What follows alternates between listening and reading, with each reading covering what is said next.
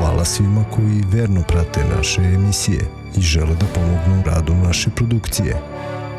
Nijedna zemlja nije tako skupo platila svoju slobodu kao Srbija. Kupite naše majice na sajtu balkaninfo.rs Poštovani gledalci, dobar dan i dobrodošli. Pratite emisiju intervju u produkciji Balkan Info. Moje ime je Lazar Janović. Naš današnji gost je futbaler, rođen iz Sarajlija, igrač koji je nastupajući za željezničar, Atletico Madrid, Werder iz Bremena, tresao mreže širom Evrope. Oprobao se i na tranatim tepisima bliskog i dalekog istoka igrajući za u Japanu i Južnoj Koreji. Dami i gospodo, Rade Bogdanović. Dobar dan. Bogdanoviću, dobar dan, dobrodošli, hvala vam na izvojenom vremenu. Hvala na pozivu. Rekao na početku, rođeni ste Sarajlija, Sarajevo je grad koji je inspirisao mnoge umetnike, ratovi su se vodili oko njega i u njemu. Kako se vi sećate Sarajeva, vašeg detinstva? Pa, meni je Sarajevo ostalo u fenomenalnoj uspomeni, mada sam ja živio do svoje 22. godine dok nije počeo rat. Ali sam završio osnovnu školu Radojka Lakić, elektrotehničku školu Jaroslav Černi i 82. godine sam, da kažem, otkriven na turnirima škola, osnovnih škola na teritoriji grada Sarajeva. A, neki skauti futbolskog kluba Ženičar su primijetili u meni neki potencijalni talent i tako sam selektiran 82. godine u Sarajevu i vežu me jako lepe uspomene. Mislim, ja sam državljane Republike Srbije i, i ovde mislim i da planiram, ovde planiram i da dočekam svoju starost, ali normalno Sarajevo je grad u kome sam rođen uvijek u mom srcu. Zašto ste i Sarajevo i danas podeljeno na plavo, belu i bordo boju? Zašto ste odabrali željezničar? Da li je to neka poročna tradicija? Pa bliže mi, ma nije kakva Grbavica tradicija. bliža bila, pa... Bliža Grbavica, kak je bliža Grbavica od škole sa Vraca sam se samo spustio pješke do, do Grbavice, to je nekih 600-700 metara, završi se škola u 1.10, trening u 2 do pola 4, posle fataj autobus i kući i tako iz dan u dan, što se odmah može da vidi da nije bilo lako ni postati profesionalni futbol. Evo, kako sećate te generacije na Grbavici? Nikola Nikić, Simo Krunić, koji je danas izuzetno poznat ovde u svetu futbala, Dragan Škrba. Da. Pa, sećam se, ja sam, ja sam debitovao u Titogradu 26. marta 88. godine a na Grbavici sam debitovao 80, uh, 7 dana posle protiv Hajduka iz Splita i to je generacija koja je bila Škrba, Škrba Katana Baljić, uh, Hadžalagić Komšić Ćurić, Bahtić, Zoran Slišković, Radmilo Mihajlović, ja sam debitovao sa brojem 10, što mi je bilo drago, i Nikola Nikić. To je moja generacija, znači ja sam uhvatio onu super jednu generaciju futbalera, pre svega mislim na one koji su baš i napravili posle toga ovaj, karijere, pre svega Radmilo Mihajlović. Yeah. On je bio centar for, Nikola Levo, Fića desno, super jedna generacija, izuzetno dobri i kvalitetni ljudi. Ovaj, naravno uvijek ima nekih izuzetaka, ali je u suštini bila jako jedna generacija gdje, gdje sam ja uživao tih prvih šest meseci. Koliko je ta Liga Jugoslavije bila jaka, zanimljiva? Čuj, jaka, bila prejaka čuju to. A, a, Liga socijalističke federativne republike Jugoslavije, po meni, po mom skromnom futbalskom mišljenju... Zašto skromno igrali ste i u, pa dobro, ja to u Evropi kažem, i pa dobro, da, mislim, jeste, ja tu uvijek kažem skromno mišljenje, skromna futbalska karijera, nema veze, ali ovaj, ona je sigurno bila, kao što je sad, uh, Liga petica, takozvanih, je Italija, Engleska, Francuska, Njemačka i Španija, e, ona je sigurno bila u nivou sadašnjeg stanja, recimo, Engleske, Španije, dobro, Italija je malo skliznula, Njemačka tradicionalno, to je to. I u rangu Engleske i, i ovaj, Španije. Činjenica da su ti ekonomski problemi uvijek bili, jel, ovaj, uočljivi, ali ljudi, verujte mi, to je ozbiljna liga bila sa ozbiljnim igračima. Ti igrači sad, sad, na tržištu, da, bi vrijedili bezoslovno mnogo novca. To, ali a, ni, ja ne govorim samo o, o Srbiji ovo kao Zvezda, Partizan, pošto sam sad tu. Sve šampionske titule velikih klubova su se osvajale u Bosni. To Kako je... smo juče jednu spekar razgovarali, na primjer, Vojvodina dve titule Jugoslavije u Srbiji nijednu titulu nije mogla da osvoji. Samo Vojvodina, kao futbolski klub. Da, oni su imali isto sjajnu, da, njih se najmanje sjećam, sem te posljednje generacije e, koju je vodio Ljubko Petrović, koja je bila sa Jokanovićem, Sinišom Mihajlovićem, Vorkapićem, e, Mić, Levi Bek, Mijucić, e, sjajna generacija i oni su osvojili, da, zato što Pa vidite, posle su svi Da, ime. karijere, pogledajte Mihajlovića, Jokanovića i, t, i da ne nabrajam dalje. Ali, realno, ko je htio da osvoji titul, morao je da uzme bodove u Sarajevu, u Mostaru, u Zenici, u Tuzli. Ko je u, pokupio najviše bodova tu, taj je osvojio Pričamo se i Vardar, posebno teško gostovanje u Makedoniji. Pa, Grošev, Stanojković, Sposevski, Kantlarovski, Najdovski, Janevski, Džipunov, Georgijevski, Pančev, Savevski, Ringo. Bože, sačuva. Da li ima nade da se opet igra regionalna liga u futbalu? Šta? Ne, ma šta će nam, ma, ko, ma ne treba nam uopšte, ma Bože, sačuva, ma ne treba nam ništa. Po mom mišljenju, ma šta, mi nismo to, kaki, to je, to bi bilo ponova utopija. Ne, nema potrebe. Nismo zreli još uvijek. Ne, ne, nismo mi zreli, nismo dorasli, nismo... Još mnogo što što treba da se promijeni da bi se, ma na kraju krajeva za, za igranje regionalne li- lige potrebna je želja svih, a ne pojedinačno istupanje određenih saveza i svega toga. Ali nema potrebe, šta svaki ima svoju ligu pa nek se bori. Ne vidim, ja ne vidim tu uopšte, ne, ne vidim, ne vidim svrhu svega toga. 1992. godine, sa početkom ovih ratnih zbivanja, dolazite u Beograd. Ko vam je pomogao tada? 1992. godine ja sam pobjegao iz Sarajeva sa Goranom Gutaljem, bili smo u, kri, u krilu, smo bili, tačno smo sjedli u krilu jednoj doktorici čiji je muž tad, nažalost ja sam se imenom zaboravio, njen je muž bio komandant odbrane grada Beograda, a ona je kao doktor m, imala tu privilegiju da, da se nalazi u tom vojnom avionu i mi smo se kako našli na toj pisti i ona nas je na neki način prepoznala, jeli, kao mladiće koji treba da, da se slone. I boga mi, Goran je bio na, levom, na levoj nozi, ja na desnoj i ona nas je zagrlila i tako nas je spasla od vojnog lica. tad mladić koji ima... 22 godine. 22 godine. Da. Posle se ispostavilo nevjerojatno da je ona i da je ona majka od, od devojke koja je išla sa mojom suprugom u razred. Tako smo pobjegli iz Sarajeva, došli smo u Beograd i zahvaljujući samo Nenadu Bijekoviću i Žarku Zečeviću nastavili smo a, na neki način normalan život. Imali smo kontinuitet treninga u futbolskom klubu Partizan koji nas je primio obje ručke. Boga mi bilo nas jedno 8 do 10 futbalera koji su pobjegli iz Sarajeva za Beograd, održavali smo kondiciju, zamislite vi, oni vas prime, a njima je prvenstvo u toku i futbaleri, i treniramo s futbalerima Partizana i osjećaš se kao da si, kao da si u Sarajevu. To ja uvijek apostrofiram i kažem hvala do neba, svu ljudskost su pokazali ovaj, i ljudi iz futbolskog kluba Partizan, a pogotovo Nenad Bijeković i Zarko Žečević. Pritom, imali smo u hotelu Mladost plaćenu sobu, hranu, dok se nismo razbežali po, sve, po bijelom svijetu, a svi smo realno otišli. Zašto niste zaigrali za večite kvalitetna? Verovatno nije nedostajalo u tom trenutku. Pa ja sam mogao da ostanem u Partizanu, ja sam i pričao na tu temu sa Nenadom Bjekovićem. Ovaj, međutim, e, iskren da budem ta finansijska ponda iz Južne Koreje gdje sam provalio da mogu da, da zaradim dobar novac i da obezbedim sebe, roditelje, e, jer rat je već bio u punom jeku, a taj novac koji sam dobio mogo je da, da, da mi da sigurnost za, za dalje. Zato sam se odlučio za Južnu Koreju. To je bilo onako... Jer prvi futbaler koji otišao u Južnu Koreju bio Nebojša Vučićević. I onda sam ja otišao. Ja nisam otišao da potpišem ugovor, ja sam otišao na probu. Sam bio mjesec dana na probi, sedam probnih utakmica sam igrao s njima. Goran Gutalj i ja.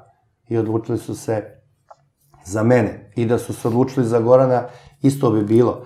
Ali njegova je želja bila pretjerana da ide u, u Evropu, a moja je bila da se osiguram. I tako sam ostao tamo. Kaže jedan pisac da deca rata brže se srevaju, pa eto i vi kako ste A ja razmišljali sam da... sazreo preko noći. Da. Ja sam sad, od onog djeteta koji ništa nije znao, pa da sam nešto znao u životu, ne bi 90. godine otišao u vojsku. Da. Raspada se država, ja idem u vojsku. Države koje nema, ej, ke šta će mi to? Da sam znao nešto. Ali sam sazreo 92. godine preko noći kad sam došao u Beograd, kad sam znao da nemam ništa sem dobrog zdravlja, hvala Bogu, i nade za, za bolje sutra. A u džep je bio prazan. Koliko je ta Južna Koreja tada izgledala uh, pa i futbalski, pa i ovako životno standardno, jer na jednoj strani sveta odakle vi dolazite, uh, bukti građanski rat, oni vjerojatno vode neki normalan život. Pa to je neopisivo kako je to izgledalo. To je bio kulturološki šok, jedan, u stvari šok bio sa svih aspekata života. Dođete iz jednog Sarajeva gdje protiče Miljacka, gdje mislite da je ćevap najbolje jelo, trenirate u klubu gdje plate nema po 5-6 mjeseci, pritom sad dolazi i rat, i sad dolazite odjednom, slećete u jednu zemlju gdje sam znao samo o njoj ono Gold Star, Hyundai, one firme koje su već počele da nešto, neke proizvode svoje ovaj, prodaju po bivšoj SFRJ i dolazite. Meni je bilo fascinantno kad sam došao u taj grad, on je, on je na moru i uh, uh, to je jedna željezara Pohang Iron Steel koja je bila sponsor futbolskog kluba. Oni su uh, ljudi napravili željezaru u moru. I kompletno to područje oko željezare gdje je bio u tom slopu tog kompleksa bio i futbalski stadion koji ima 24.000 sjedećih mjesta bez atletske staze fenomenalno, sve je napravljeno na moru. Znači vidi se most i uvi kao sad Da, nevjerovatno. A, a onda kad dođete na, u, na sportski, u sportski kompleks koji je tad su imali sportski kompleks sa četiri, sa četiri travnata terena i na kraju krajeva imao sam lopte, nisam, u želji sam morao da zapišem na lopti rade kao Da, ili da, ne znam katana nas dvojica ćemo s njom da, da, da, da, da vježbamo, a tamo 40-50 oko mene sam, eto, taj jedan mali podatak, ništa više. Evo da malo napred krenemo, kakav je recimo njihov uh, razvoj futbala danas? Uh, Imamo pril- priliku da vidimo da oni basnoslovne novce ulažu u- igrače, da većina evropskih igrača kada žele da završi karijeru i da, kažem da uzme taj poslednji novac sa jakim ugovorima ide u Kinu, u Južnu Koreju, Japan jača. Ne, i, a, a, po financijama i, tim, i tom bacanju novca, e, Koreanci su uvijek imali istu liniju. Nikad nisu bacali novac. Oni nikad nisu neka velika zvučna imena na zalasku karijere dovodili. Ne, to je radio Japan i sad radi Kina. Koreanci su dovodili igrače koji su im bili potrebni, najviše su se tražili špicevi, Ovaj, ali moram da kažem da oni imaju jako puno talentovnih igrača, nego njih ne interesuje Evropa. Šta oni imaju tamo? Imaju lovu, imaju Japan, odu u Kinu, sad njihova reprezentacija uvijek je učesnica svjetskog, svjetskih prvenstava, azijski su šampioni bili jako, mislim da su standardno svake godine osvajali tu azijsku ligu šampiona, imali su uslove za, imali su uslove za, za normalan razvoj, ti futbaleri, tako da ovaj, liga je, meni što je bilo malo mi je smetilo to što tereni nisu kao sad recimo, iako je moj taj gde sam ja igrao gradski bio jako dobar, ali ostatak se nije baš ovaj, nije se baš proslavio po izuzetno dobrim terenima. Eto, to mi je smetlo, inače su brzi, dinamični, nemaju neku pretiranu tehniku, zato im i fale špicevi, ali su zato zujalice, ma kaki, to To- nema predaje. Pa Takti- vidite ih. Ne igraju taktički, Pa sad su se i naučili sad su taktički, baš sad, su se, sad su se i naučili taktički, ali je interesantno da oni, to je zemlja za primjer. Kako štite svoje igrače bivše. Sve ih bacaju u mlađe selekcije, u prve time, tamo nema stranaca trenera. Kao što ima u Japanu. Oni štite sebe. Oni vole da svoje prodaju. A, ali da kupuju i da bacaju na nešto što im ne treba na uštreb svojih ljudi, to neće da rade. Tako da, eto, Hidnik je bio onaj trener kad ih je odveo do polufinala, četvrtfinala, dokle su došli na, svetsko, na svetskom prvenstvu, što je isto jako velik uspjeh, ali znaju da štite svoje. Vaša sledeća stanica na tom putu je Japan, je li tako? Prelazite u Jeff United. Da, ja sam, prije nego što ću otići iz Južne Koreje, te sam godine proglašeni za najboljeg igrača, ovaj, potpisao sam u novembru mesecu predugovor sa Jeffom, a 21. decembra ugovor sa Ajaxom. Da, ali što će otići u, vi ste to potpisali znači sa Van Gaal je tada čini se da, bio. Da, Van Gaal je, da, Van Gaal je bio, Van Gaal je bio trener, ja sam potpisao na četiri i pol godine ugovor sa, sa njima, međutim imao sam predugovor ranije sa Japanom, imao sam hiljadu problema, iskreno da budem, to je neki period, taj ih mjesec dana ne bi volio da ga se sjećam. Ali sam na kraju završio u Japanu i otišao sam tamo. E, bilo mi je jako lepo, pre svega zahvaljujući tome što su oni izuzetno kulturan, vaspitan, narod organizovan, to kapa dole. To, to, ja mislim da mi, da mi možemo da živimo još 200 godina, ne možemo takvi da budemo u organizacijalnom smislu i koliko je lepa i kvalitetna e, zemlja. A pritom sam imao u klubu Nenada Maslovara. To je bivši igrač Crvene zvezde, jedan gospodin, momak koji me je dočekao obje ručke i bilo mi je jako lako da se uklopim u tu celu priču. I igrao sam uh, nekih 5-6 meseci, dao sam jako puno golova i onda se to sve u ljeto okrenulo kad sam debitovao za reprezentaciju. Sa ta dva gola dobio sam poziv iz Atletika, onda su platili obeštećenje, ja sam otišao u Atletiko, ali mi je žao najviše zbog Maslovara što se nisam dalje s njim družio tamo, i, ali je bila liga bez briga Znate, jako puno para, ja sam se judebio tamo 5 kila. Sa 81 kile uh, iz Koreje sam, sam za, za tih 6 meseci dobio 5 kila, imao sam 80 i, knap 87, a na 22 utakmice sam dao 18 golova. Japan je bio jedna u to vreme, a i sad ne ne vidim neku razliku, je zemlja za, za promociju, za, za život, nisu oni ono utakmice da, za, na, na život i smrt. Htjeli su da promovišu, davali su lovu ko je bio u tom vozu da, da uđe i da se dočepa tamo kao što se dočepao Pixi i još si jaset tih igrača na zalasku karijere.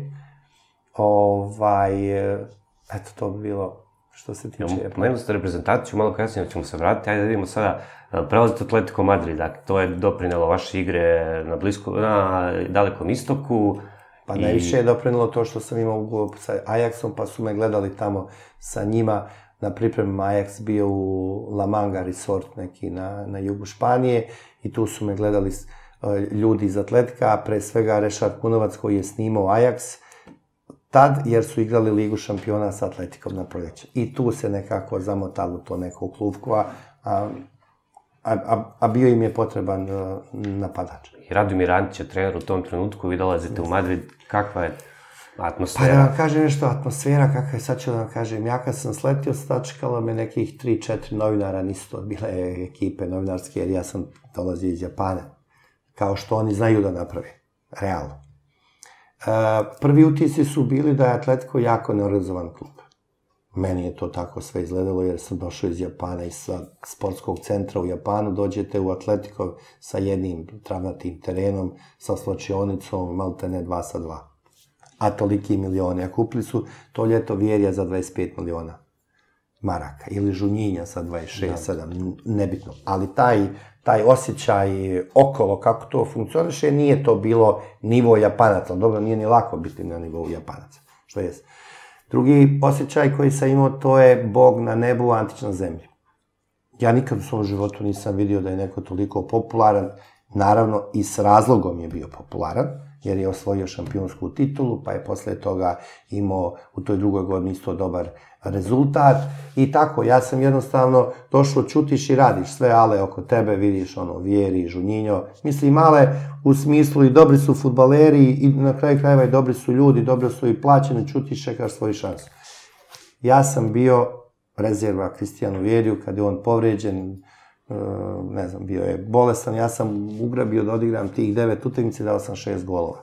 Debi je bio stvarno fenomenalan. Mislim da je bio dali dva gola i priča se da vam je yes. uh, direktor Atletika tada kupio BMW serije 3. Tako je, sa crvenom kožom. Ujutru su me nazvali, Carlos Penja je tad bio sekretar, koji je, team menadžer koji je bio zadužen za igrače i rekao mi je samo da se javim u, u, u taj salon i da me tamo sve čeka. Stvarno je to sve tako je bilo. Napravio sam posle toga i ručak jer sam debitovao, to je bio onako debi snova i to je sve onako i funkcionisalo do 15. januara, tad sam se povredio.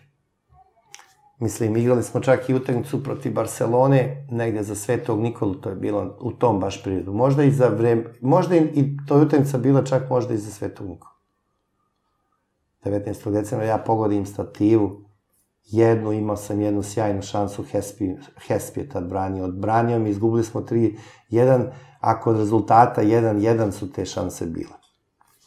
Sa Valencijom se takođe dobar meč odigrali. Da, ja sam, e, da, Mm, pa nešto nije baš pretjerano dobar meč bio. dao sam taj golgeterski, dao sam, dao sam go protiv Paoka i Soluna, sam dobro odigrao utakmicu protiv Sportinga iz Hihona, ali dobro, sve do te povrede nesrećna je bila 15. januara u Valjadolidu sam povredio koljeno. Doktor je rekao da ću da da pauziram najmanje dva meseca onda su oni shvatili da nemaju ništa od mene, uzeli su mi licencu i doveli su nekog Izraelca Avi Animija, što se meni nije svidjelo, jer sam se oporavio mnogo brže, doveo sam fizioterapeuta iz Srbije, uzeo sam, da ne povjerujete, ali to je istina, ovaj, prirodne neke preparate, ja sam se oporavio, 12. dan sam počeo da trčim. I onda mi je bilo žao da, da ne igram do juna meseca, kad me sad to već zadesilo i onda sam otišao u Nak Bredu i tamo sam, tamo sam odigrao, i dobro sam odigrao tamo i tamo tadašnji trener Nak Brede, neki Neumann, Frank Neumann, me preporučio svom prijatelju Wolfgangu Zitki koji je bio trener u Werderu iz Bremena. Vratio sam se u Atletiko, Saki je već došao na toj nakon, nakon Antića, U julu ja sam bio višak stranac, jer nas je stvarno bilo osam van Evropske zajednice.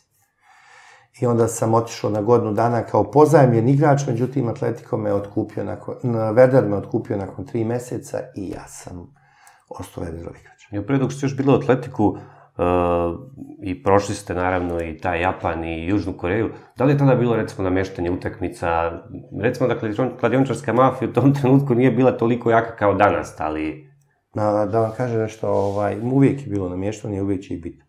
U futbalu možda nije tad bila velika, veliki novac kao sad, ali tad je bio dobar novac. U futbalu je uvijek dobar novac. Samo su, jeli, brojke za ta vremena sad onako malo različite, ali tad je bilo jako puno novca. Pa eto, Vjeri je plaćen 25 miliona maraka. To vam je sad vrijednost novca, nisam ekonomista i bankar, ali to je sad 100 miliona. Da, sigurno. Sigurno. Tako da, ovaj, e, bilo je, e, iskreno, iskreno da budem, e, bilo je, bila je taj sigurno posljednja utakmica namještena protiv, protiv ovog Rasinga, dali smo go u, prvo, u četvrtoj minuti Slobodnjaka ili, ili u sedmoj, osmoj. I niko više nije ni ušao u 16. Tako da, ovaj, bilo je. I uvijek će i biti. Evo, da li je to utakmica priča, sad ste čak i jedan deo honorara morali da izdvojite od vaših premija. Pa jesmo, kako bi... imali smo 20, e, imali smo, brate, ne 20, imali smo 50.000 maraka po igraču za odlazak u, za odlazak u kupu EFA.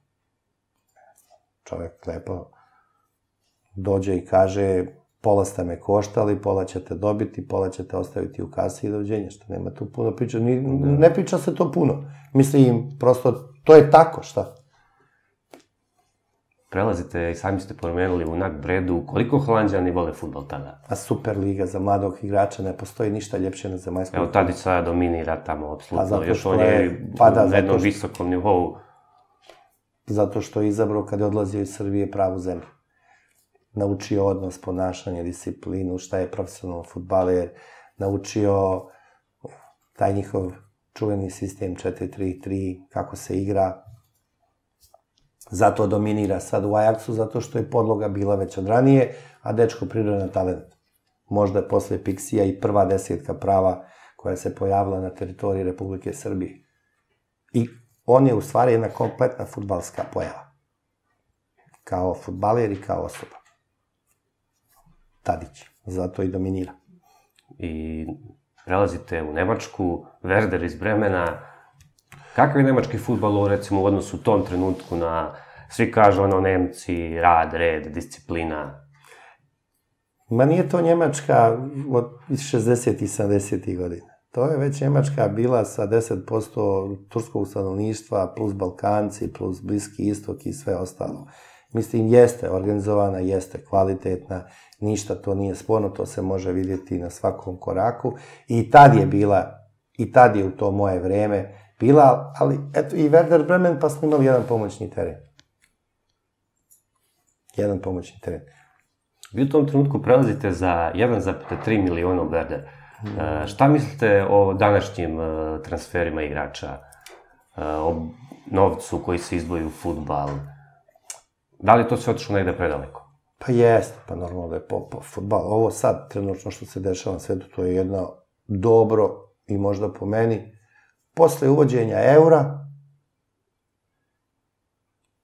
i ovih ratova na Bliskom istoku, u ime demokratije, ja mislim da je futbal jedna od najvećih prevara koju ja znam. Trenutno. Dobro organizovana, dobro osmišljena.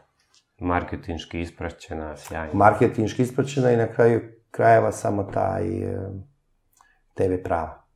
Ako imamo 60-70% da se klubovi finansiraju od TV prava, TV prava imaju novac od sponzora koje reklamiraju. Je li tako? A da bi se oni reklamirali njihove utakmice, neko, njihove, njihove proizvode, jel mora neko da kupuje. Kupuju baš oni koji naveče gledaju te utakmice, naručuju, plaćaju i znači tu e, niko svoj novac ne daje. Ti klubovi, malo imate vi sad gazda pravi kao što je nekad bio Berlusconi, jel? Ili ne znam, još ne mogu da ih se sjetim, da daje svoj lično novac svoj zarađen novac jer je vlasnik 100% kluba, pa on sad daje novac. Malo ko ovde daje svoj novac. Sve veći uticaj e, biznismena iz Azije, e, Rusije, koji kupuju klubove po, po Evropi. Pa liječe kompleks. Liječe kompleks. Evo sad, primer, tamo neki Rus ima fabriku željeza. Koga interesuje za željezo? Trpa on lovu sebi, lepo živi i zarađuje, ali da bi ga neko znao, da bi ga neko poštovao, da bi ga kamera ufatila, gde mu je pravo mjesto? Loža. Jel tako? Sjajna reklama. Sjajna reklama i on onda uživa i liječi svoj ego, sad ga već svi znaju, novac je tu, e, takvi su i Rusi, takvi su Kinezi, pa kakve veze Kinez ima s futbolom? Pa čovjek počeli ljudi da igraju futbol prije 6-7 godina, realno. I odjednom krenuli po 10, 20, 30, 40, 50 miliona. Pa to je, to je za mene prevar. Jel ste kapitalističko društvo ili ste komunističko? Ja nikad nisam čuo da, u, mi smo, dosta manja zemlja bila, ali nije bilo u ono vreme kod nas komunističkom vremenu milionera ili milijardera. Pa su Kina komunistička zemlja kao i odjednom sad toliko milijardera na zemaljskoj kugli i odlučili oni, Pa sine, gde ćeš ti u Interu Milano, Kines posle Moratija i Berlusconija? Ti si samo, ti si samo mangupima, ovim evropskim agentima, menadžerima, ti si samo način kako da te, kako da ti oni zvuku lovu.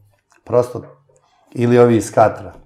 Ja sam bio u Katru poslednju godinu igranja futbola. Jedan Doha, sve oko Dohe klubovi, to je sve na 5-6 km. Ko što je nekad bilo ono, pre desetak, 15 godina, Beogradska, Beogradska liga, je li tako? Zvezdara, Voždovac, Obilić, Zvezda, Partizan, Rad, Čukarički, Železnik i sve, e, takva je Doha. I sad odjednom oni počeli da kupuju klubove, oni se kao razumeju u futbol. To je da izađu iz anonimnosti. Jel da se vratim samo još na Španiju, igrao za Atletico, Barca i Real su godinama ekipe koje su u samom vrhu svetskog futbala. Šta to njih odvaja od ostalih? Da li je to planetarna popularnost, pa onda i taj novac koji se zarađuje time, odnos države možda prema njima? Svega pomalo. Svega tu pomalo ima. Pogotovo Barcelona, ona ima čuvenu svoju školu. Ona, oni ljudi proizvode. Proizvode, koriste, prodaju. Gdje ćete bolje? Planetarno, marketing odradili kako treba, uspjesi su tu, ništa tu novo nije. Real Madrid je ikona. jedan od najvećih klubova, tradicija, stadion. Kad dođete na stadion, vi se naježite. Prosto se naježite. A zamislite, zamislite vi Ramosa koji igra 15 godina za Real Madrid. Da. Pa je, gde ćeš više? To je jednostavno, i odnosi države, i navijača. Nije lako normalno igrati, to su veliki klubovi, pod pritiskom su igrači jako veliki, ali svega tu pomalo ima. Ja nisam planirao da vas pitam, šta mislite o Joviću trenutno u Realu? Pa, mislim, mislim da je zagrizao uh, jabuku veću nego što može da, da zagrize. Uh, ima 21 godinu, dolazi iz, imao je fenomenalnu sezonu u Frankfurtu. Ja da sam bio na njegovom mjestu, ja bi možda još ostao malo dok se m, do, do, dok, dok se neke stvari možda ne iskristališu bolje jer je mlad. Ipak je Real e, zato treba gl- glava da bude spremna da bi se uhvatio u koštac sa svima, pogotovo što imate Benzemu jel, koji je tu, koji je dočekao svojih pet minuta nakon što je Ronaldo otišao, a Luka je mlad momak. E, e sad, šta će da bude, ko to zna, šta će da bude, tu su mnogo veći futboleri propadali nego što je Luka Jović iz Reli, a ne a da ne pričamo o njemu. Ali sam podatak da je u Real Madridu i da su ga hteli, to, to ovako je za... I da su ga platili 60 miliona. Mislim, da, Real, to koliko je god je veliki klub, ne bi- Lova ne bi jeste, bacio. sad je to pitanje, ista, ista menadžerska ekipa prodala Jović, Kovačića Hrvata u Chelsea, pa uzmu njega, samo ostavili krug. Sad su Da. to malo neke, Igre. neke igrice, ali kad je Lova u pitanju, kad je on. Ali kad je on u pitanju, to ne može to niko sa sigurnošću kaže kako će se to dalje razvijati. A pritisak, Spremajući se za ovaj razgovor, ja sam našao da a, vi ste u Werderu šest meseci imate zabranu igranja. Sedam, ne, sedam nedelja. Sedam nedelja sam platio ceh mojoj gluposti i 30.000 maraka sam platio kazne zato što sam na utakmici e, mislim da je bila 16. ili 17. decembar u Roštoku kod rezultata 1-1 i kornera za nas. E, golman me udario e, sa obe ruke u prsa i ja sam ga pljunuo. Napravio sam grešku, tako, ali, ali nisam, nije sudija vidio. Nisam ja dobio ni žuti, ni crveni, nego me kamere snimile i posle je pritisak je jako velik bio, jer Srbin kad pljune Njemca, to ima malo veću dimenziju. Pritom, ništa kriv nisam bio. To se lepo na snimku vidi.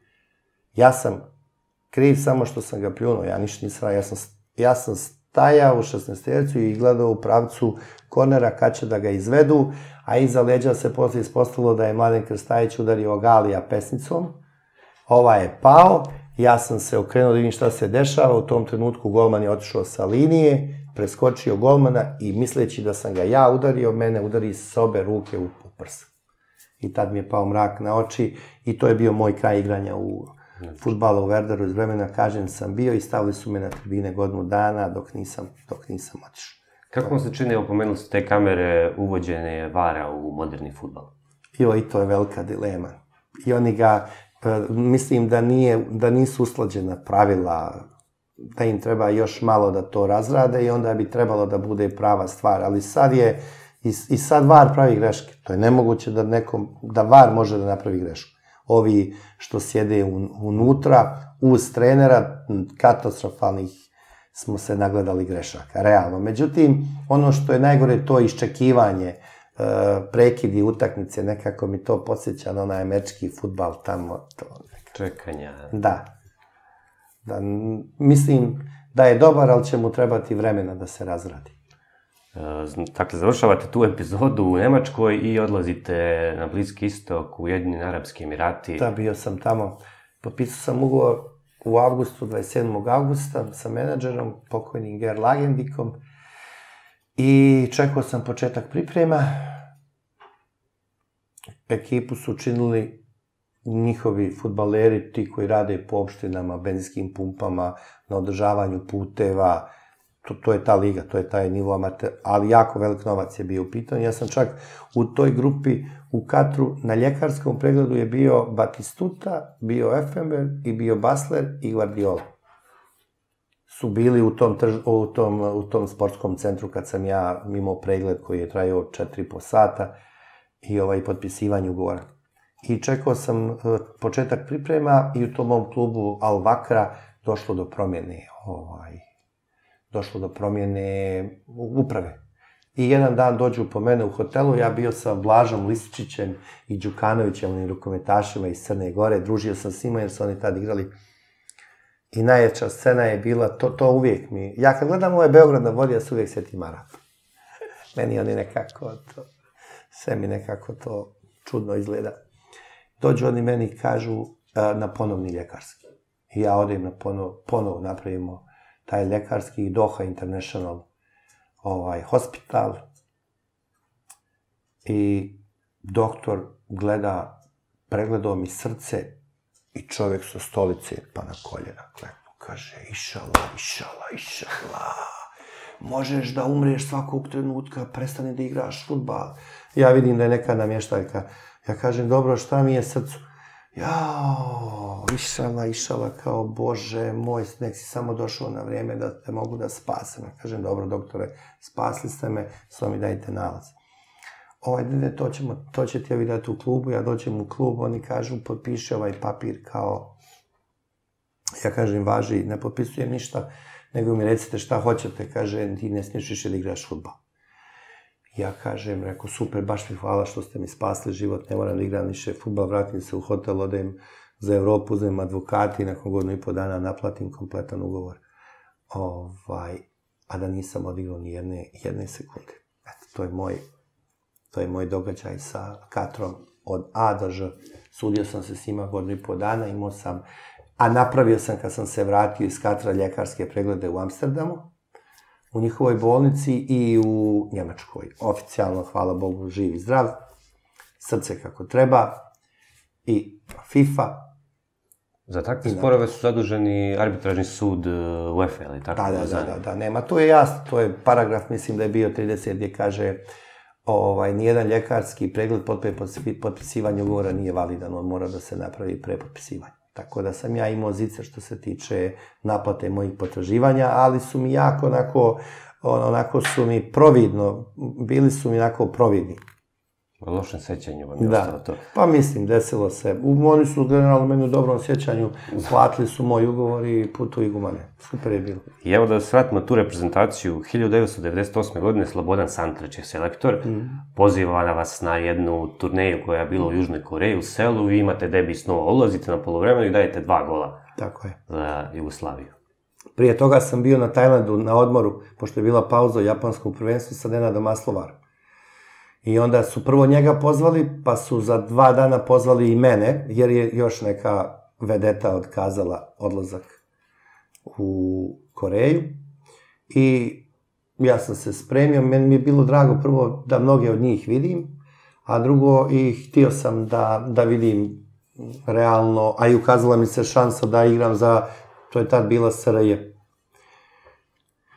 I... Vi ste, izvinite što sprekne, znači jedini igrač koji je platio, vi ste platili Sigurno, sebi avionsku ja kartu. Tako je, tako. Da bi došli da igrate. avionsku kartu, plat, odlazak u Korejsku ambasadu za vizu i dolazak u Tower Hotel u selu gdje nije bilo mjesta za, i sobe za mene, jer su poveli jednog novinara koji je bio, oni su ga nazvali tako padobranac, nije bio uh, pozvan od strane organizatora, ali oni su ga stavili da mu se zahvale za nekoj saradnji i onda je on uzeo sobu futbolera. A da se ja ne bi brukao tamo jer me znaju u tom Tower hotelu jer moj klub odsjeda tu, onda sam ja došao i rekao ovaj, dajte vi meni sobu, ja ću to sve regulisati kao što sam i regulisao, tako da sam ja čovek koji je platio sve da dođem da igram.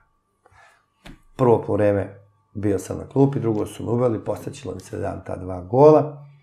Ovaj, I odigrao sam i drugu i treću, nakon toga odlazim iz Japana u, u Španju, više me nikada nisu zvali. Ni Zašto? ja njih, ni oni mene. Zašto?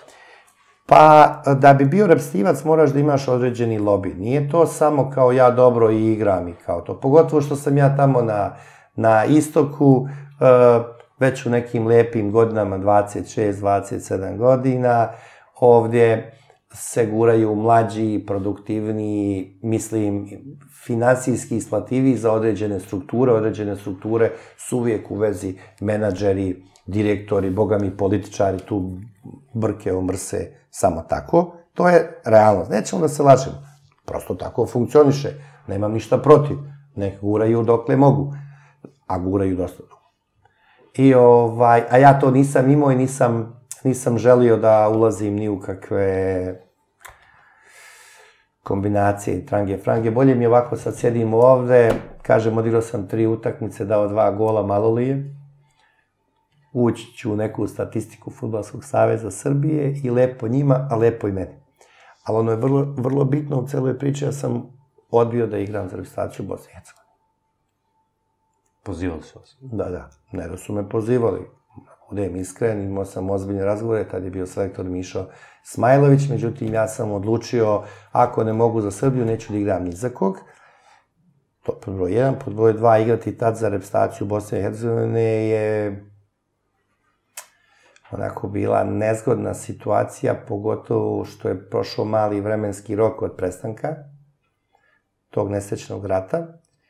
E, mm, ja, Srbin, nisam se ja u smislu, ja se nisam bojao njih, kao njih tamo koji će me dočekati da igram tamo posla, to su sve sportisti, futboleri, nego to je ipak, uh, roditelji mi žive, dosta prijatelja, kumova, školskih drugara, nisam želio, a ni srce mi tad nije osjećalo da igram, pa kad mi srce ne osjeća i ne govori mi da treba da igram, što bi ja na kraju krajeva igrao i još pritom bi izgubio sijaset svojih meni dragih ljudi koji su u Bosni, a, a, a često idem tamo.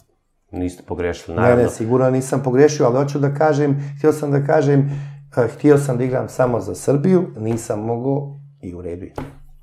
Da li su ti tol menadžeri toliko jaki, futbolski?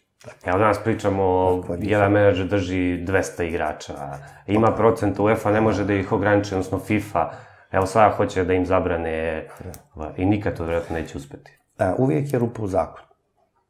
Vi možete da ne, ne postoji idealan zakon.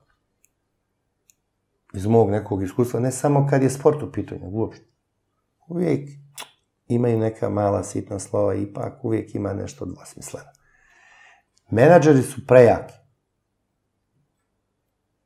Menadžeri su prejaki. Najbolji menadžeri, evo samo jedan primjer, tri najbolja menadžera. Imate ovog, kako se zove, Portugalac Medeš. Čovjek držao diskoteku i ugosti. Čovjek koji, na primjer, sadrži uh, Famalicao. Rajola, pizza majstor. Iz Holandije. Ramadani, bio prvo vozač kod ove braće u Njemačkoj, pa držao restoran. Znači, pazite, tri menadžera su vezana za ugostiteljstvo. Zašto? Pa zato što su osjećali ljude koji dolaze. Znali su psihologiju, a pogotovo što su dolazili mahom se sportisti. I treneri, između ostalo. I tu se napravi konekcija. Ozbiljno. Pa kako nije najbolji menadžer postao neko, neki intelektualac? Advokat neki. Ima ih. Ozbiljnih advokata, pogotovo na zapadu. Su ozbiljni menadžeri. Samo nisu bačeni u etar. Ali ima advokata, menadžera, ima jako dosta. Što je negde i normalni prirod. Tako je, pa normalno, sve je to. Međutim, ono što je, ono što sam rekao za, za futbal koja je, koji je fenomenalna igra i koji, koji je jednostavno nama svima u glavama i očima i volimo i da ga igramo i da ga gledamo, ali gledamo, realno će se samo uništiti. Ulaskom tih investitora iz Amerike, sa istoka, Rusa koji nemaju veze sa tim, to on je jako podložan za sve ma, ma, malverzacije finansijske koje jeli, su jako ponekad isplative. E, kad su ti menadžeri u pitanju, posle Bosmana su uveli ono pravilo pravo trećeg lica na vlasništvo na futbalera. Znači, pravo, pravno lice može da bude vlasnik mog ramena, jetre, bubrega i svega ostalog. Tu su najveću lovu klepili, to je u vrijeme Blatnera i Platini. Platini. Tako, čim smo i mi dali nazive ulica u Futbalskom stavi Srbije, ja znam da je to neka prevara. Pa? Ne, pa to nemoguće. To je nemoguće. Da i mi damo nazive ulica, da oni budu ispravni. Ma, kakvi nema šanse. Evo ih sad se bacaju po sudovima, ne znam, smijenjeni su tu su najveću lovu. Registrovali su firme na Devičarskim ostrovima, na tim tamo poreskim rajevima, jel tako? Uzmeš torbu, odeš tamo, oni ti natrpaju te paruštine, ti uzmeš torbu, sjedeš na avion i podijeliš pare sve kome treba. E, zato se krije 100 miliona za Balavca, e, zato se krije 150 miliona, jer tu klubovi spumpavaju pare od svojih, od svojih uh, sponzora ili ne znam već uh, te televizije i to se dijeli. Znate šta ja uvijek kažem? Mi za ozbiljnog, dobrog trenera stoji sin debil ili brat menadžer. Tako da, ako malo bolje vidite istoriju i samo vučete konce, možete, možete da vidite obrise i tragove zašto su ti transferi toliko, toliko veliki i nerealni. Vi kad date Messi i Ronaldo lovu, ili Azaru, ili De Bruneu, kapa dole, plati ga koliko hoćeš. Vredi. Ti uzmeš Mengelea nekog iz sporta, platiš prije 6 godina ili 5 godina 35 miliona eura i dođe Guardiola za trenera Manchester City-a i sloni ga i pitaju ga kakav je njegov status, kaže nije taktički obučen. Pa koliko bi koštao da jest? Evo to je taj primer, Harry je... Maguire je skoro igrao e, najskuplji defanzivac e, Manchestera. To čak i mogu da shvatim, jer to su zemlje koje pokušavaju da veštački da naprave svoje futbalere i reprezentativce nekim zvezdama. On ne može, on jeste toliko plaćen, mislim, šta znam, platili su ga onoliko koliko su oni smatrali da, da vredi, ali realno ne vredi i nije neki veliki kvalitet, uh, sigurno. Uh, ali opet kažem, to su zemlje koje pokušavaju od svojih repstivaca da naprave velike, velike, velike zvezde. Sad ako pogledate u Engleskoj, tu po tim klubovima toliko stranac igra da ne, nema Engleza. Vidite Manchester City, pa nema Engleza. Vidite onaj raspali Arsenal.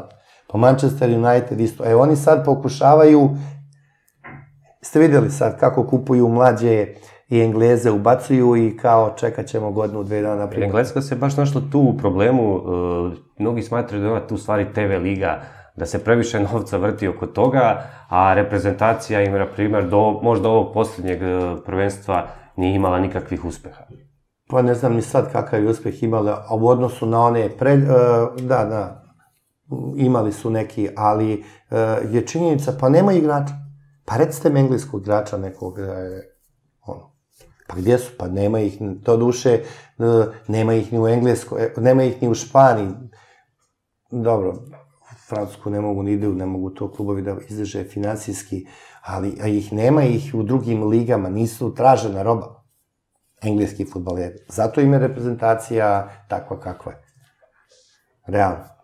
Imamo predmedli FIFA, UEFA, uh, juče se pojavila jedna informacija da će Srbija 200 miliona evra izdvojiti za izgradnju stadiona. Ne Srbija kao, kao zemlja, verovatno će to i određene nacije, određeni sponzori, e, ali pitanje je treba li nama nacionalni stadion? Treba li Zvezdi i Partizanu novi stadion?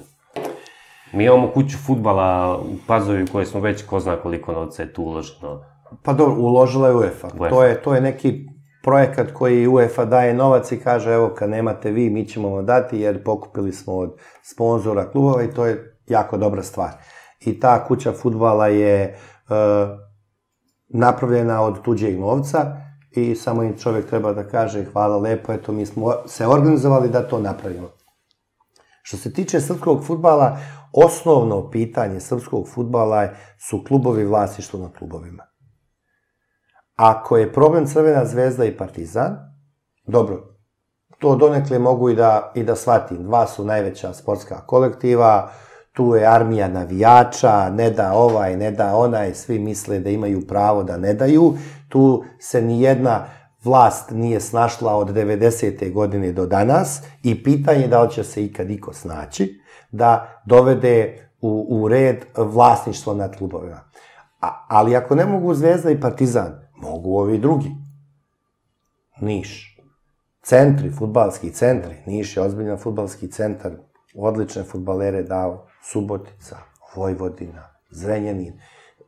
Pa onda niži rangovi, tu da se dovede i da se napravi, da se neki zakonski zakon napravi da se klubovi privatizuju, da jednostavno država ubire poreze koje treba da ubire, jer svi, svi su, kao kažem, bit će pravna lica koja moraju da, da plaćaju sve te, sve te poreze. A što se tiče nacionalnog stadiona, zavisi samo od čiji će se para praviti.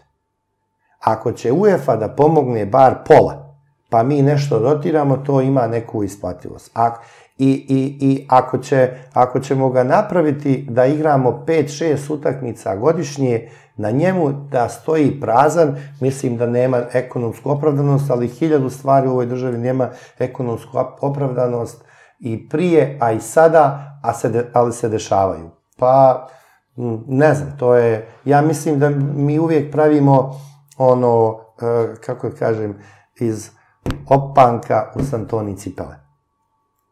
Nema tog ravnomernog prelaza. Ta nema ravnomernog prelaza, kao što sad hoće VAR tehnologiju. Šta će ti VAR tehnologija? Odeš, gledaš utakmicu u onoj Ivanjici, uh, bukvalno balkon od kuće je u 16 tercu. Pa šta će tebi VAR dole? Tebi prvo trebaju futbalski pravi futbalski tereni, iako su sad ove godine Futbalski savez uz pomoć UEFA je napravio neke nove terene i to sad stvarno malo bolje izgleda i to je dobra stvar što su radili i to je sasvim okej. Okay. Ali, ali šta će tebi sad VAR e, da pa ti nemaš ni uslove za VAR na mnogim klubu, u mnogim stadionima. Tako da je uvijek su nekako želje ispred naših mogućnosti. Da li je privatizacija realno rešenje za srpske klubove i dokle država, recimo, naše novce daje naš novac 5 e, miliona zvezdi, 5 miliona partizana, umesto da se to usmeri na, na zdravstvo. Na Ma daje pet, ja bi odmah, ja bi sretan bio da je to pet, kak je pet? Dobro, pet sa nekom to. Mnogo, mnogo, mnogo to više država sigurno daje i popušta. A, a ne znam, nijedna, nijedna, niko se još od sloboda, od Miloševićevog vremena do danas nije ozbiljno bavio, a ja mislim lično da je to greška jer je to, o, o, futbal je ozbiljna privredna grana postala u celom svetu. Jako profitabilna i gde mogu svi da, da ovaj profitiraju jako dobro od države, pa klubova, pa pojedinaca, pa da ne kažem... Pogledajte koliko ima bivših futbalera. Ja sad pričam, evo ovde u, u studiju, a možda sam mogao da budem na nekom futbalskom terenu i da radim posao koji stvarno, koji, za koji sam faktički rođen. Nekako prirodno je da futbaler posle, posle futbalske karijere se bavi uh, obukom uh, i budućih futbalera i vođenjem nekog futbalskog kluba. A gde vi danas, a imate ih na stotine jako kvalitetnih bivših futbalera koji sjede i gledaju šta se dešava, jer im je onemogućeno da se bave tim poslom. Nije to samo futbal, tu imate sigurno i košarkaše, pa imate i odbojkaše, to ništa nije regulisano. To je jako, jako, po meni, jako velika greška, ali se nadamo da će to u nekom periodu da, da, da legne i da dođe na svoje. Ali treba će vremena. Da li danas igrači plaćaju nastup za reprezentaciju? Vama je, sami ste to jednom izjavili da vam je neko tražio novac. Da nije neko da tražio, mi jedan novinar u, u, u aprilu mesecu 98. godine u Skadarli tražio mi i onda ja nisam dao, otišao jedan drugi. Znam i koji, ali nije... Dao. Da, otišao, da, dao je nego šta je. Dao je nego šta je, nego dao ni jednu utakmicu, ni odigrao u kvalifikacijama, otišao na svjetsko prvenstvo, još igrao tamo. Ovaj, uh, da li danas? Mislim, futbaleri? Ne. Ali menadžer ne. vjerojatno sve završava. Ali menadžer, pa da, to je sad kulturiška. Da. To je u belim rukavicama u odijelu. Ja imam svog futbalera, to su razno razni pozivi, kombinacije. Prije je, da, prije su organizovali utakmice prijateljske, van onih kvalifikacionih, da bi ti futbaleri koji su na prodaju i koji, od kojih imaju interes, imali tih zlatnih 6-7 nastupa da bi od, igrali u određenim ligama. Ja recimo, kad sam u atletiku, ovaj, uh, kad sam bio višak, meni je Kristijan Vjeri rekao ja ću da te prodam. Ja ću da ti pomognem da, da, da se prodaš. I nazove Georgia Gregorija u Aston Villa. I mene zovu iz kluba i kaže ideš sutra u Aston Villa da Vas potpišeš. aerodroma vratio. Tako je. Imao samo tri nastupa. Da sam imao šest, bio bi Rade Englez. I mogli ste da kupite ta tri nastupa. Mogu sam. Mogu sam, ali nisam. Tako da, a, to je tad tako izgledalo. Ja sam jednom prilikom rekao da je Futbalski savez Srbije kuća smrada. A rekao sam i za UEFA-u. A vidite koliko ti skandala ima. Samo zavisi kako ih, kako ih oblikuju, kako ih slone, kako ih zataškaju. Nisu svi ko Njemci. Mislim, Njemci su majstori da zataškaju. Uf, to oni, to je, od njih treba čovjek da uči. Od njih čovjek treba da uči. Ali futbalski savez, oni, on, oni su nekako, treba m, da razmišljaju, jer te, Republika Srbija nije samo Beograd. Šta briga onog u Nišu, Pirotu za Crvenu zvezdu i Partizan. Po na, za njih navija kad igraju protiv Evo. klubova, evropskim takmičenjima. On gleda na lokalnom nivou kakav mu je tim, da li može da, da koga će da gleda tu subotu i nedelju, da li može da s njima ide na putovanje. Pa njih ne interesuje da li se mogu privatizovati Zvezda ili Partizan. Ili onog u Zrnjeninu centre, prave futbalske centre. Nego ove je jasno kao dan da će biti to sve teško, teško izvodljivo, a moga bi mnogi i navijaju da ne dođe do privatizacije. Pa što bi oni navijali da dođe privatizacija? Ja navijam, možda vi i ne znam, meni slični, navijam da možda ću doći u mogućnosti da sutra s nekim prijateljem uđem, uložim neki novac u drugu ligu, u srpsku ligu, da imam neki futbalski klub, napravim školu futbala, jel? Što bi on, što bi sad ljudi u iz drugoligaških, trećeligaških klubova ili prvoligaških, do duše, ima ih i tu, sad navijali kao privatizacija. Sjede u skupštini, ni to ni znaju što su u skupštini, ni to ni znaju koji je dove u skupštinu. Oni samo dižu glas, imaju neku malu sitnu privilegiju, ovaj, neku dobiju siću i oni, tako i A ovi, ovi majstori gore ozbiljno manipulišu. Vidite vi, pa ovdje 20 godina nije se ništa promijenilo u smislu vodećih struktura. Sjaši kurta da uzjaše murta. Onaj u ovom klubu predsjednik ode, ga, ode tamo, onaj tamo, ovaj vamo, kumovske, rođačke Da, veze. vjerojatno kad se promeni vlast, umjesto jednog kuma doće drugi kum i Pa da, jedan tako brat, E, ali brat i... klasičan primjer, a imamo, znači ne trebamo mi sad ići u Evropu, šta će nam Evropa? Da gledamo određene i pozitivne primjere. Imamo Čukarički. Evo, nas dvojica nema šanse da se ne složimo da je Čukarički jedan klasičan primjer šta znači dobro, dobar futbalski klub koji je u vlasništvu Na zdravim nogama. fizičkog lica. Nema skandala, nema ništa, napravio školu, koliko ima, toliko plati, Redovno plaća poreze poreze, on odlučuje, gazda odlučuje o svemu, sa svojim saradnicima i jedan, jeste nekad čuli za skandal na Banovom brdu? Ja nisam dosta. Otkako je čovjek došao. Voždovac je isto lep primjer. Tako imaju je, svoj tako, stadion. imaju, tako, imaju svoj stadion. Stadion koji je, na primjer, iskorišćen 365 dana u godini. Tako je, tako je, tako je. To su primjeri.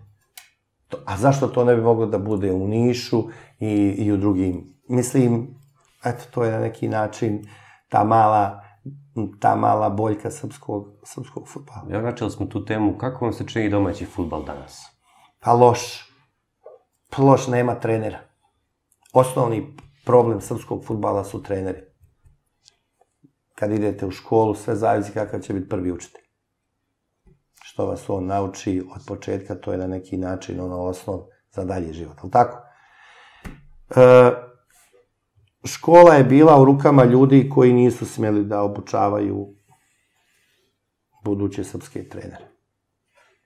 Da ih ne imenujem, ali reprodukcija trenera koji su izlazili iz te škole je jako bila velika, međutim kvaliteta, kvaliteta nije, nije bilo. E, I nema ga.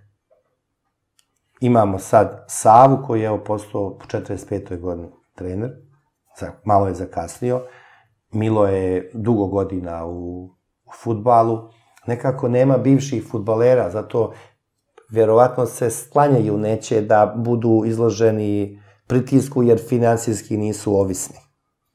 Da. To je produbeja. Degradi, da, degradirali su tu trenersku struku jer ih smenjuju i bacaju kao krpe, ono, kao tirači su. Čim je takva Be situacija, utakmice. tako, čim je takva situacija, ljudi nemaju ni, ni autoritet među, među igračima, a to je osnov. Kako vam se čini Lalatović, recimo? Ha, kao... On je relativno mlad trener. Jeste, mlad, mlad ima, mnogo više ima pozitivnih nego negativnih stvari. Ima par negativnih, malo ta pretjerana uh, agresivnost i, i, i, i, i taj način kako on reaguje na nepravdu ne ide uz njegov trenerski posao, mada smo mi manje više na Balkanu svi nervozni poštari. Ali, ali je kao, kao trener, kao trener, evo ga, on, on u svakom klubu je u vrhu.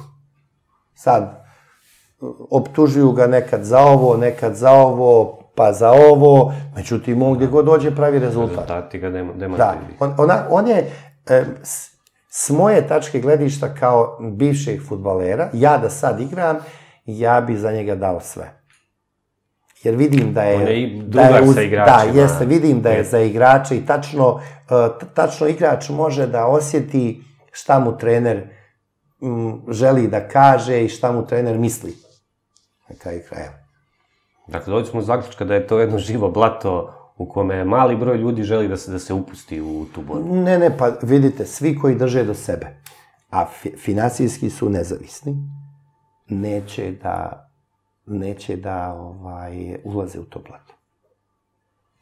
Prosto nije im potrebno. Kakav je imidž naše lige u, u, u svetu, u Evrope? Evo recimo kad jedan igrač, tipa imali smo sad priliku, Natho je došao, jedan sjajan igrač, Marin je se vratio u Zvezdu, kada im ponudi kaže, e, ima mesto u jednom srpskom klubu Uh, šta im kažu menadžeri?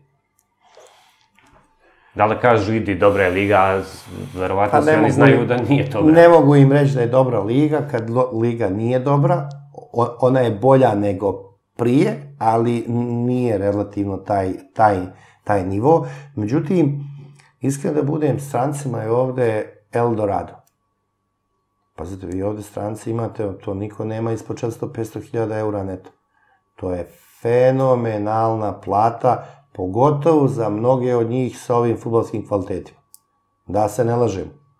To što mi medijski dignemo kao igrača nakon jednog poteza i to, to je, ajde, ono, naš mentalitet.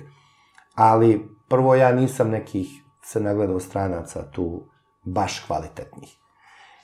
Jer su mnogi i odlazili koje smo dizali ovde u nebesa, odu u Kinu pa se ne zadrže tri, tri meseca. Ode u Saudijsku Arabiju pa ne mogu da izdrže dva mjeseca.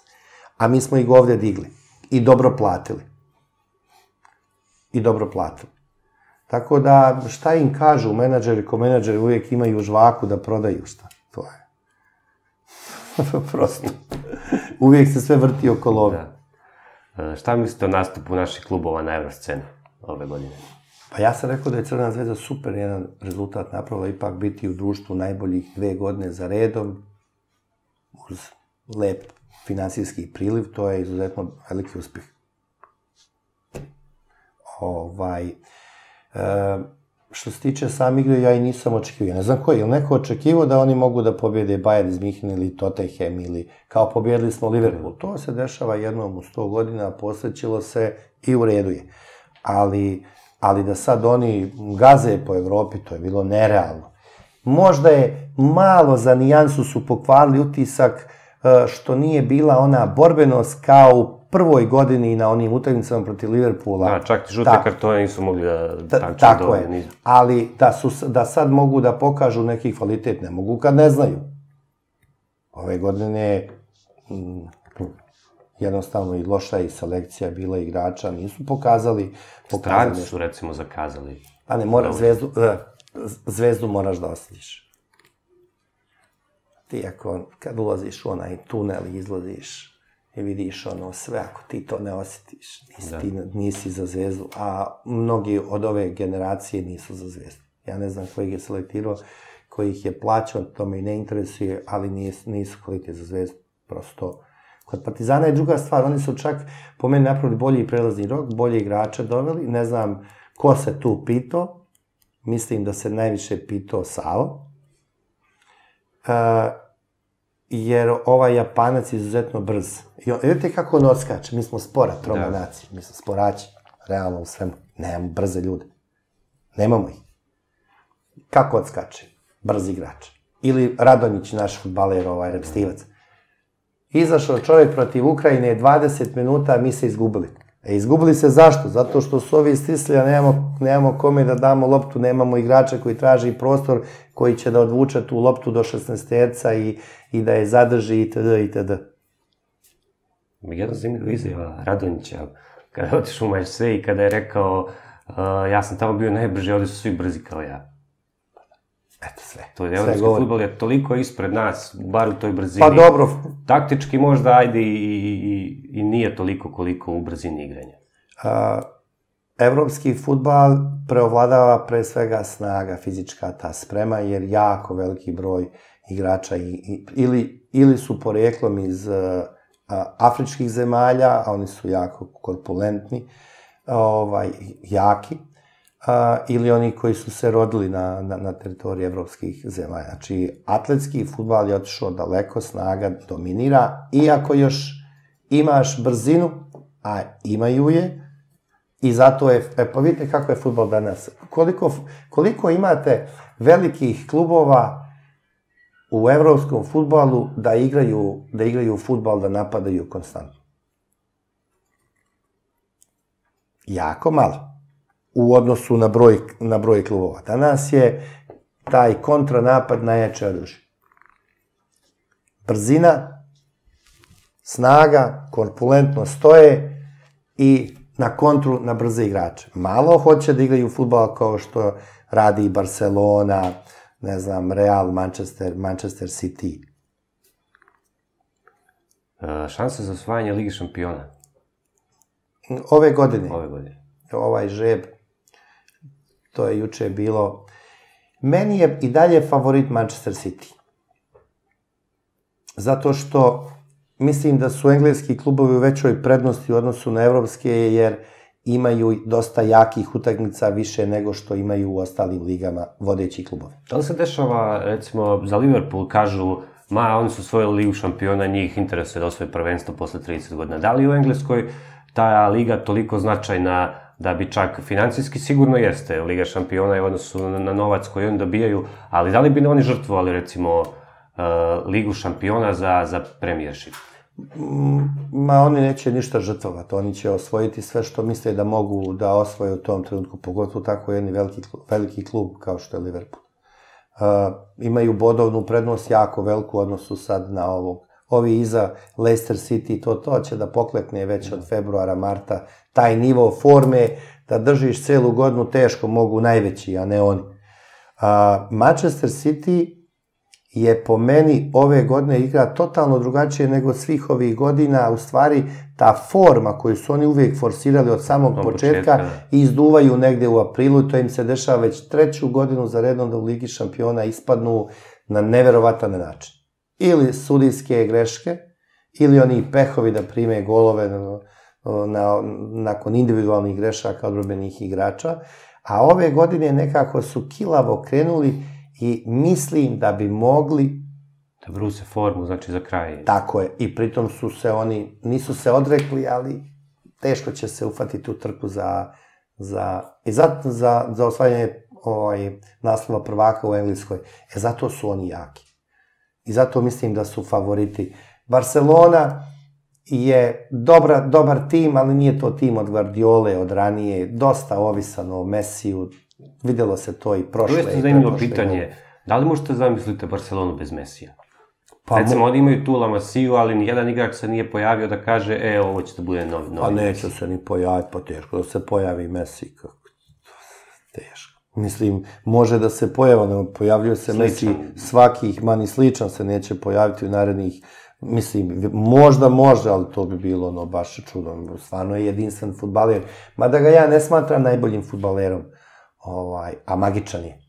Uh, mislim da je kompletni igrač Ronaldo. Evo baš to te vas pitam, Messi ili Ronaldo? Pa Ronaldo samo uh, iz uh, dva razloga. Messi je faktički rođen u Barceloni, došao sa deseta godina koliko. Da, Ronaldo je uspeo u ligama. Messi celi život igra u Barceloni, u jednom sistemu igre koji je dobrim, dijel, ne dobrim, nego podređenjem. On je tata. Pa on je, ni spavač u sobu nije promijenio u životu ovaj, bukvalno živeći, igrajući futbal u Barceloni. Sve je osvojio individualne titule, titule prvaka, Lige šampiona i to je, to je toga i ovaj, zbog toga se smatra najboljim igračem, jednim od najboljim igrača na, na svetu. Sa argentinskom stacijom nije osvojio ništa. Znači, nije... A, kod, k, k, mislim da Messi nije igrajući futbal stvorio futbalsku zvezdu. Kao što su realno od njega stvorili Čavi, Iniesta i svi ostali. Jeste da on ima sve magično, ništa stvorno nije. Ali, samo igrao u Barceloni, s reprezentacijom nije osvojio ništa kao što je osvajao Maradona. Maradona je od reprezentacije napravio jednu, jednom bio finalista, drugi put osvojio, sa, od, s Napolijem osvojio i igrače napravio još većim i boljim igračima nego što jesu. Maradona svojim igrama. A Ronaldo je igrao u Portugalu, Engleskoj, Španiji, Italiji. Uvijek sve osvojio što je moglo da se osvoji sa njima. Sa reprezentacijom. Sa reprezentacijom i mijenjao države, običaje, e, e, jezike, e, hrana, vreme, način igre i uvijek davao golove i uvijek bio najbolji. E zato ja mislim, baš zbog toga što je mijenjao i što se u svakoj državi dokazi, dokazao, ja mislim da je najbolji. Evo, približavamo se kraj ovog razgovora. Hoću da vas pitam još za našu futbolsku reprezentaciju. Šta tu neštima, zašto u svakom sportu postižemo uh, dobre uspehe, vrhunske sportiste, jedno u futbolu stagniramo i dokle će Mijatovićeva prečka biti naš najveći uspeh na evropskim takmičenjima i svetskim? U, to je dobro pitanje. Pa razlog, razlog vidim u činjenici prvo da je, da je opao kvalitet futbala u Srbiji samim tim i kvalitet reprezentacije ne može da bude ništa bolji ako nema, ako nema kvaliteta. I ja mislim da će jako dugo da Ako sad tavori, tavori će na ovom nivou, ja mislim, jako dugo, zato što ne izbacuje nove, kvalitetne, kvalitetne futbalere. Evo vidite centar for prvi centar for reprezentacije Srbije, igra u Fulamu, to je championship u Engleskoj. Iako je i borac i kvalitetan i, i možda je jedan od rijetkih koji ostavlja maltene ono što kažu srce na, na terenu, ali vodeći centarfor igrao Championship u, u Engleskoj. A gdje je igrao Mijatović u to vrijeme, gdje je igrao Deja Savićević, gdje je igrao Pixi, gdje je igrao Jugović, gdje je ona generacija sva. A i oni nisu pravili rezultate, a u takvim su, uh, takvim su klubama igrali. Znači, bilo kvaliteta, ali nisu imali tim. Uvijek te nešto, uvijek te nešto smeta. A da li je novac, recimo, preveliki u futbalu razlog zašto mi Balkanci, evo, Hrvatska je sad ostvarila sjajan uspeh, ne možemo kažemo mi Balkanci. Ne, ja mislim osnovni problem rep, srpskih repstivaca što oni nemaju osjećaj pripadnost ovoj naciji. Ne znaju čiji grb nose i šta znači taj grb. Kao što znaju košarkaši, odbojkaši, vaterpolisti i svi ostali. To je osnovno. I onda se nadovezuje i kvalitet i zato će biti jako, jako, jako teško. Treba biti realan, ne, nije, nije to sad ništa nenormalno i tragično kao sad ni, Da, nismo se plasirali. lopta. Da, da, ali je, ali je onako bode u oči da samo oni nekako strš, a mnogo im se daje. Proputovali ste skoro ceo svet, upoznali mnoge kulture. Kako mišljenje vlada u Srbiji u, u, u inostranstvu? Pa ja dok sam bio na, na, na, na istoku, oni nisu ni znali gdje je Srbija. Meni dođu i kažu, "E, bili smo ti u državi, u, u, bili smo, kaže, u Srbiji, ja kažem, super, e, ne, bili smo u Jugoslaviji. Oni meni kažu, bili smo u Jugoslaviji. Ja kažem, pa kako je bilo? Kaže, super, gdje ste bili? Oni bili u Varšavi. To je bilo prije 20 godina. Sad, recimo, ja znam da Španci imaju jako lepo mišljenje o Srbiji. To znam onako, jer onako, dosta komuniciram i, i boravim tamo, tako da imaju lepo. Pa mi smo, da vam kažem nešto, mi, ako pitate, realno sportisti su najveći ambasadori. Od Novaka Đokovića, pa dalje tu nema tu odbojkaša, košarkaša, pa i futbalera. Mislim, oni su realno svi jako dobri ambasadori svoje zemlje u, u inostranstvu. Ako je to bilo pitanje, ono, realno mi smo dosta mala zemlja, 7 miliona dala je dosta puno sportista vrhunskih, a jedina smo zemlja u Evropi koji, u kojoj futbal nije ovaj, kako kažem, gdje klubovi nisu privatizovani, gdje nema surovog profesionalizma. A toliko smo dali. Kakav je život e, profesionalnog sportiste po završetku karijere? Vi to dobro znate, jer karijera ne traje dugo, e, treba živeti posle. E, kakva je? Pa, to sad čini mi se, zavisi od slučaja do slučaja, ali realno teška. Teška iz jednog razloga što opet se vraća na onu temu, ništa ti država nije obezbijedila da bi mogo da kao čestit, pošten, korektan momak sa nekim zarađenim svojim novcem da radiš u branši u kojoj, za koju si rođen. To je nastavak bavljenja trenerskim poslom. Tako da profesionalni, profesionalni futbal kad se završi, kad se zavesa navuče, onda e, najbolje prolaze oni koji su već poslednjih godina svog igranja futbala ulazili u određene i razmišljali i edukovali se e, kako i šta će dalje sa porodicama, ulaganjima, novcem i, i ali realno jako, jako teško, pogotovo što se nekad nije zarađivalo kao sad, pa sad ovi odu u Kinu, pa da su normalni, samo da ostave novac na račun, da ne rade ništa, mogu da žive do kraja života bezbrižno. Ali profesionalni futbaler mora da radi posle, pogotovo moja generacija. Moja generacija nije se... Ja pričam uopšte, ne govorim samo o sebi, ja, ja radim svaki dan sigurno 8 do 10 sati, uvijek nešto radim, nešto kombinujem. Tako da, Posebno je recimo zanimljivo e, rukometaši, na primjer, da je isto mnogo manji novac, košarkaši. E, oni ako ne potpišu jedan dobar ugovor u karijeri, oni su očigledno u velikom problemu.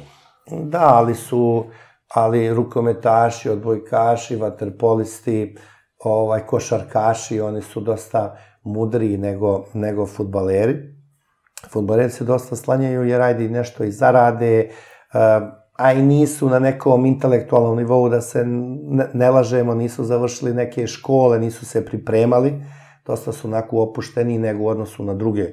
Ovi drugi su namazani, po- nema ministarstva, nema nijedne uprave, nema nijedne stranke da nisu iz tih, iz tih sportova.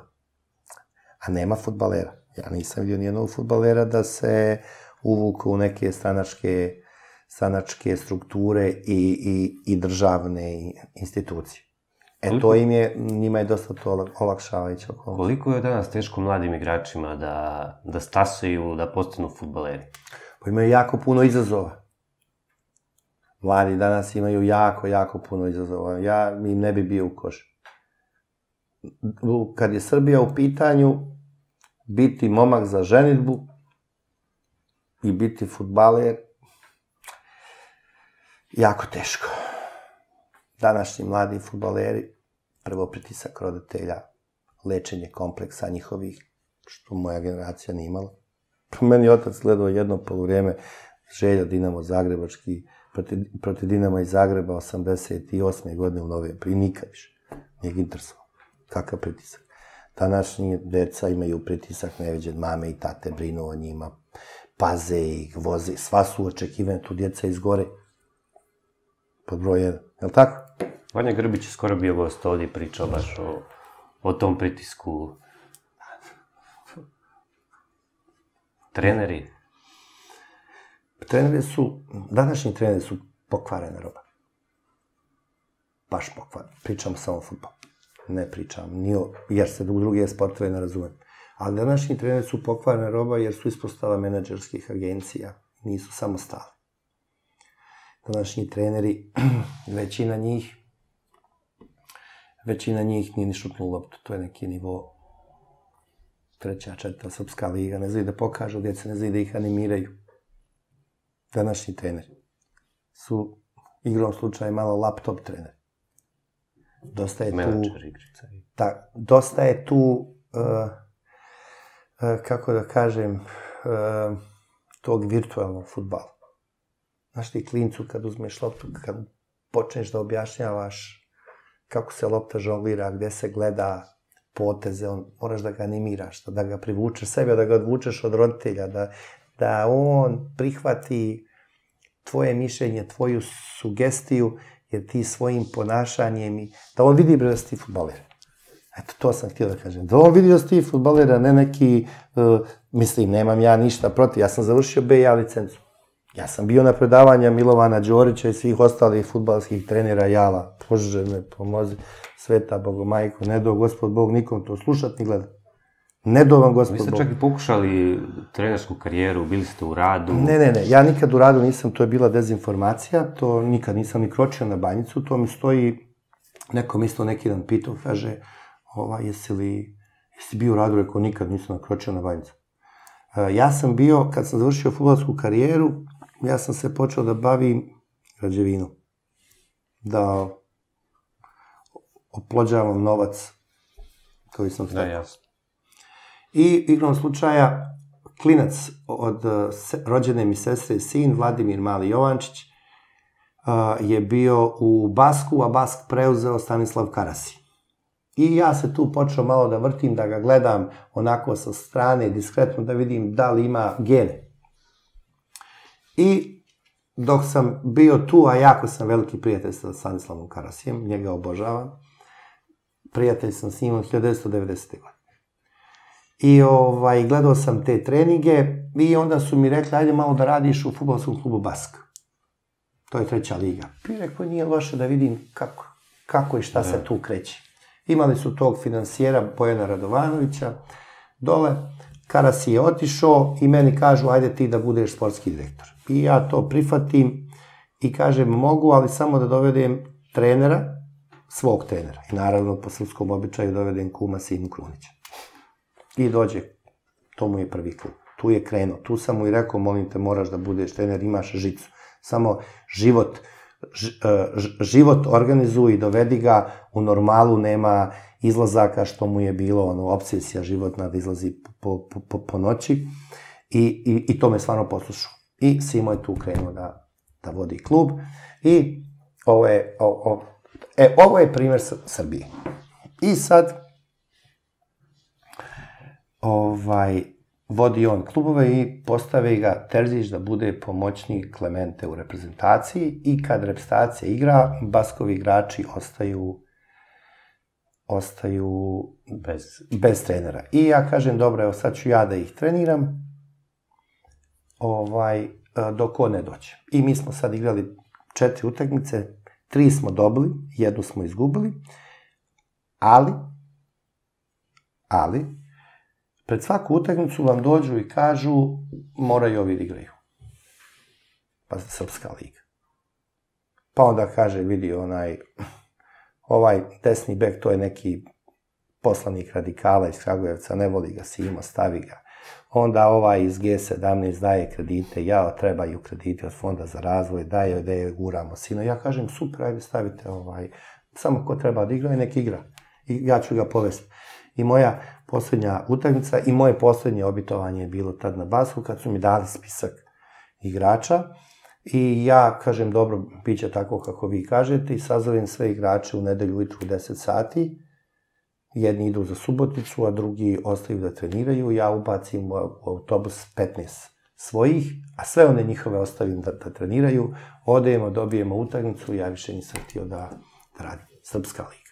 Sad zamislite šta se dešava Na većem nivou. na većem nivou. Tako da, ovaj, e,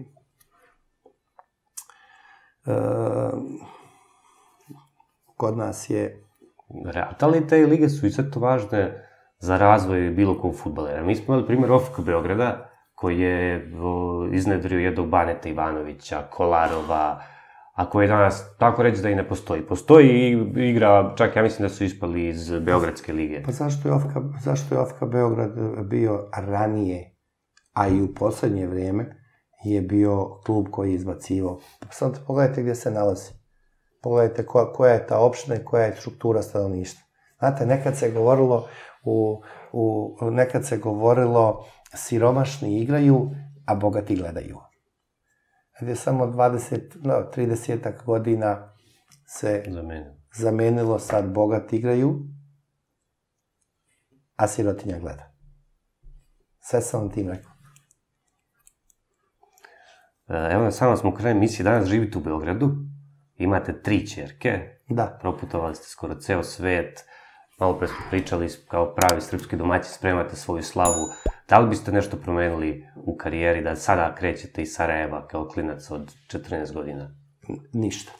Ništa ne bi uh, promijenio, možda za nijansu bi pokušao da svoj karakter i, i m, način govora malo za nijansu spustim, jer ja sam, ja nikad u životu nisam zakasnio na trening, ali sam se kazni naplaćao za dug jezik, to je katastrofa. To mogu sam stan na terazijama da kupim.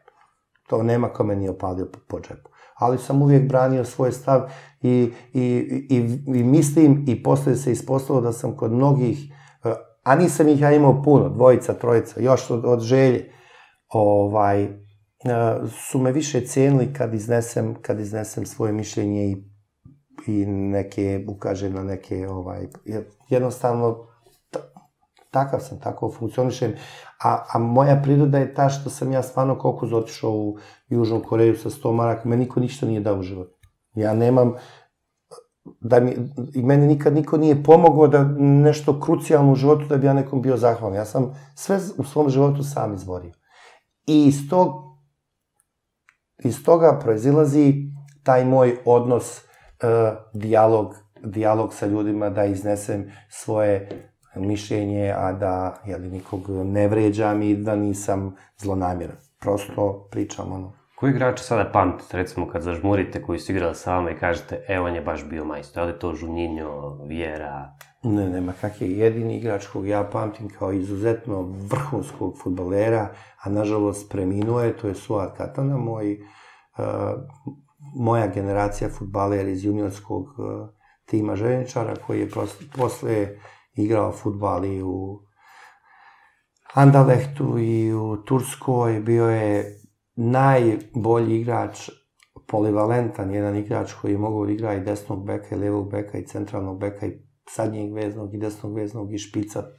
To je jednostavno, ali eto, mlad je preminuo u 36. 7. godini od, uh, ovaj, i, i što kažu, otputovao je, jako mi je žao, ali je vrhunski futbaler bio. A ja kad zažmirim, ovako, ja u mom futbalskom sećanju su, recimo, trofej Marijana koji se nekad igrao, to mi je onako bilo jedno, jedan turnir, kao klinac sam jako to volio da, da gledam. Safet Sušić, Rade Paprica, to su mi onako bili dva igrača iz m, dječačkih dana, jako kvalitetni, jako dobri. Pamtimo je gol Duleta Savića protiv Arsenala, ona strašna akcija, strašan gol, baš se sjećam utakmice. E, posle sam volio Maradonu, e, dok nisam saznao da se drogira, odmah sam prestao da ga volim. I Zubatog Ronalda. To je moj idol bio. Futbol. Onaj stari Ronaldo. Ronaldo stari. Da. I to je. Inače, jako puno, ja kad sretnim sad bivše futbalere, sretnim, ne znam, Karasija, Duleta Savića, Diku Stojanovića, Vladu Čapljića, uh, ovog iz Sarajeva, iz željničara Zorana Matkovića, kao da sam, kao kad klinci sretnu Mesija. Takav nekakav imam odnos prema ljudima koje sam gledao i koje sam, kojima sam se sigurno divio, jel? Kroz, kroz to njihovo futbalsko znanje i, i umjeće. Pa sretnim od košarkaša, ne znam, Kerkeza, uh, uh, koga sam neki dan sreo, mozak mi stao. Uh, kao da sam sreo, ne znam koga. To su Dobro, ljudi to koje sam... na da, prošlost je da. uvek, e, Inače, lepše nego- ja sam navio za košarkaški klub Partizan, ali sve do 90. Moja generacija, ono, Obradović, Todorić, e, Miško Marić, Pešić, e, ja sve što je, sve što je dolazilo novo, nekako nisam, nisam se primao kao klinac na ove ranije. A danas pratite li futbal, košarku? A, idem samo na košarkaške utakmice Crvene zvezde, volim da ih, volim da ih gledam. Njih na futbolske utakmice posljedno sam imao gledao od 2006. i 2007. kad sam bio na zapadu, okrenuo se prema onoj loži zvezde, gore 300 godina robije. Ni na jednu više nisam utakmicu otišao. Ni na zvezdu, ni Partizanu. To uopšte ne gledam. Odem ovako u ovu srpsku ligu, treću, ono, oni, oni penzioneri, gledamo ono, Rakovic. Da, e tako, eto, to baš bask dole, grafičar. Više volim da gledam grafičar nego jednu prvenstvenu. Grafičar igra sjajan Pa, fudbal da, da. sezone. Tako da, eto to mi, ali volim da gledam. Subota i nedjelja rezervisano je za sport klubove utakmice što su što su na televiziji. Idete li u Sarajevo? Da, idem, da, moji roditelji žive tamo, ja odem tamo, imam dosta drugara i ovde mi dolaze, tako da nisam izgubio tu, tu, tu vezu, niti je mogu da izgubim. Nije ni prirodno da izgubim. Da. Hvala vam što ste izdvojili vreme za nas, hvala vam što ste gostovali, želim vam puno uspeha i puno zdravlja, to je najvažnije. Nema na čemu, hvala vam puno na pozivu u vašu emisiju. Poštovani gledalci, hvala na pažnji. Kao i uvijek bilo je zadovoljstvo raditi za vas. Kao što rekao, ostajem tu dobro zdravlje, to je ipak najvažnije. Prijatno. Hvala svima koji verno prate naše emisije i žele da pomognu u radu naše produkcije. Nijedna zemlja nije tako skupo platila svoju slobodu kao Srbija. Kupite naše majice na sajtu balkaninfo.rs.